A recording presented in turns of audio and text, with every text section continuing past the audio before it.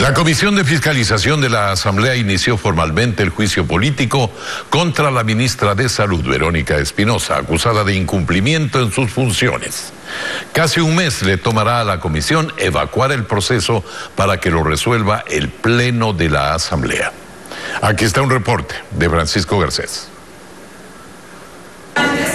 Por unanimidad, los miembros de la Comisión de Fiscalización iniciaron el juicio político contra la ministra de Salud, Verónica Espinosa, quien fue acusada por la legisladora independiente Mae Montaño de incumplir con sus funciones en varios casos relacionados con la administración de la salud pública en el país. Una de las causales del juicio es la denuncia sobre la utilización de pruebas deficientes para la detección de VIH y de insumos como desinfectantes de mala calidad pero no serán las únicas motivaciones.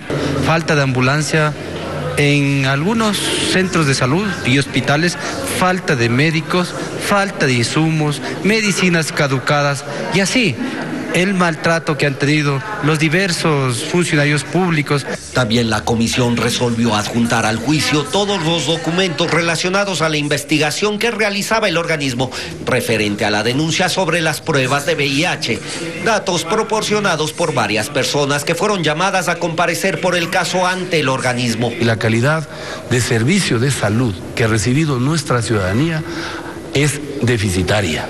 Entonces, hay delitos y hay acciones que se sancionan por acción o por omisión.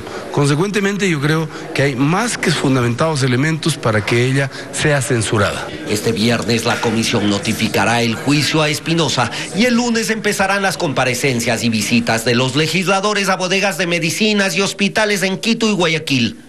Está previsto que Espinosa asista a la comisión el 4 de julio aunque se conoce que ella dejaría su cargo en las próximas horas. De acuerdo a la ley, la Asamblea puede enjuiciarla hasta un año después de terminadas sus funciones.